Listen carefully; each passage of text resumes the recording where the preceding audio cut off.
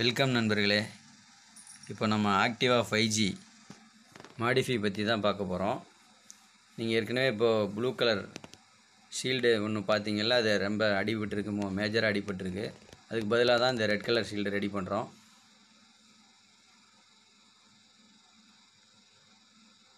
இப்போ அதை தட்டிட்டு நம்ம பேஸ்டிங் பண்ணி அதை ரெடி பண்ண ஆரம்பிச்சிருக்கோம்.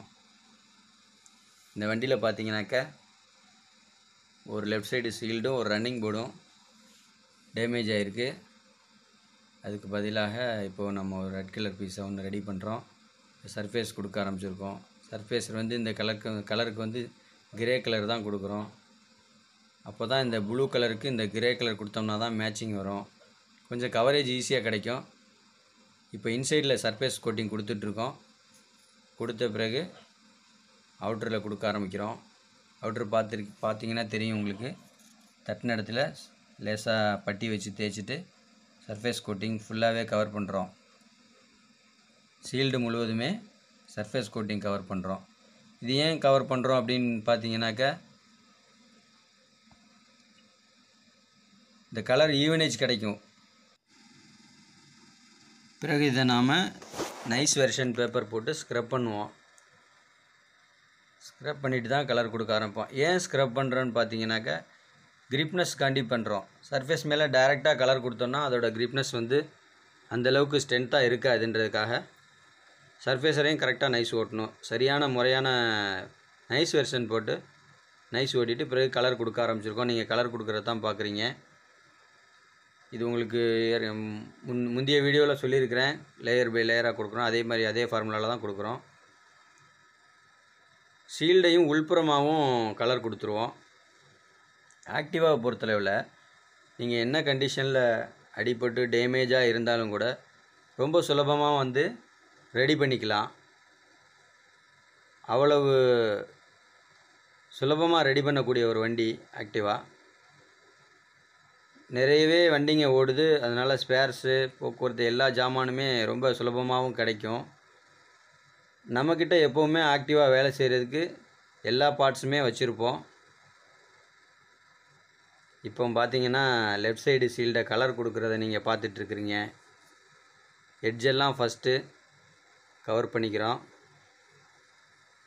கவர் பண்ணும்போது பாயிண்ட் வியூ வச்சு பண்ணுறோம் பாடி சென்டர் பண்ணும்போது கொஞ்சம் டெப்த் இருக்கிற மாதிரி கன் அட்ஜஸ்ட்மெண்ட் பண்ணிட்டு லேயர் பை லேயராக கொடுக்குறோம்.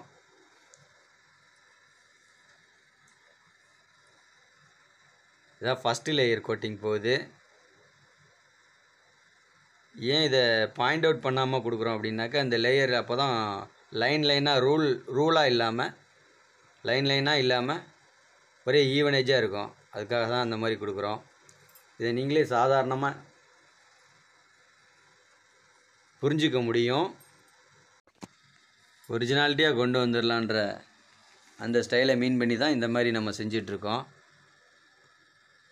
அடுத்ததாக கிளியர் கொடுக்கறதுக்கு தயாராகிருச்சு கிளியர் கோட்டிங்கும் பார்த்தீங்கன்னா டபுள் லேயராக கொடுப்போம்.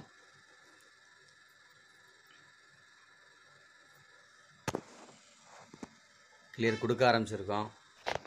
கிளியர் போகும்போது பார்த்தீங்கன்னா உங்களோட கிளியரோட எஃபெக்ட் தெரியும் பாருங்கள் முன்ன இருந்ததுக்கு எப்படி இருக்குது இப்போ கிளியர் கோட்டிங் கொடுத்த பிறகு எப்படி இருக்குன்னு பாருங்கள் ஒரிஜினாலிட்டியாக இருக்கா பாருங்கள்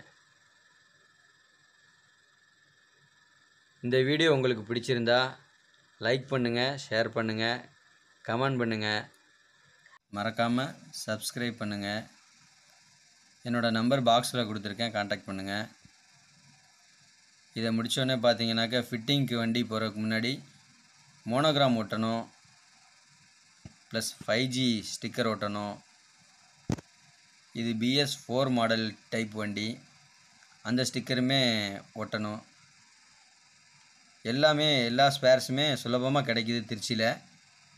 அதனால் ஹண்ட்ரட் பர்சன்ட் ஒரிஜினாலிட்டியாக இதை நம்ம செய்ய முடியும். இப்போ நான் உங்களுக்கு ஆக்டிவாக அந்த மோனோகிராம் ஒட்டியிருக்கேன். அதை பார்த்துட்ருக்கீங்க. அதுக்கு ஃபைவ் ஜி ஒட்ட போகிறேன் ஒட்டிகிட்ருக்கேன் ஒட்டின பிறகு பாருங்கள் ஒரிஜினாலிட்டியில் ஏதாவது மாற்றம் இருக்கா பாருங்கள் ஒர்க்கு எப்படி இருக்குன்னு கமெண்ட்டில் சொல்லுங்கள் தேங்க்ஸ் ஃபார் வாட்சிங் நன்றி நண்பர்களே.